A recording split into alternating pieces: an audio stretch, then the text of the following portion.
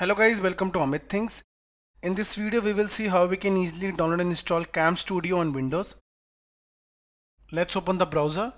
We are using Chrome, you can use any web browser. Here in type Cam Studio. Press enter.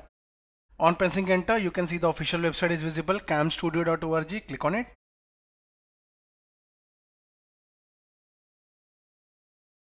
Now you can see it is open source freely available. Okay, you can directly click on download to download it. Download will start only 10 MB. Let's wait.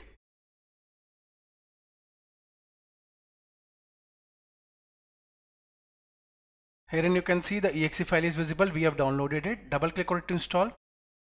Minimize this.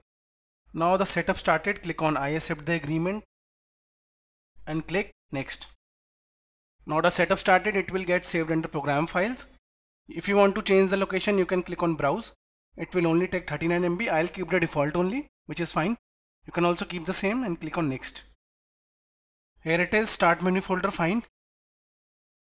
Click on next. You can also create a desktop shortcut. Yes, fine. Click on it and click on next. Click on install. It will also download the dependencies and it will install it that is the following. Click on install. The same is visible now. Yes we want to download and install now. Click on yes. It will install now. The dependencies after downloading.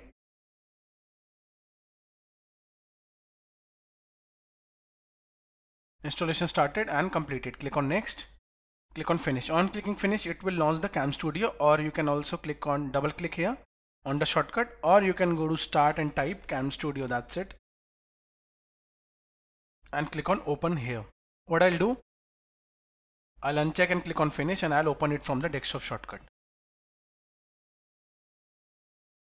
Here it is.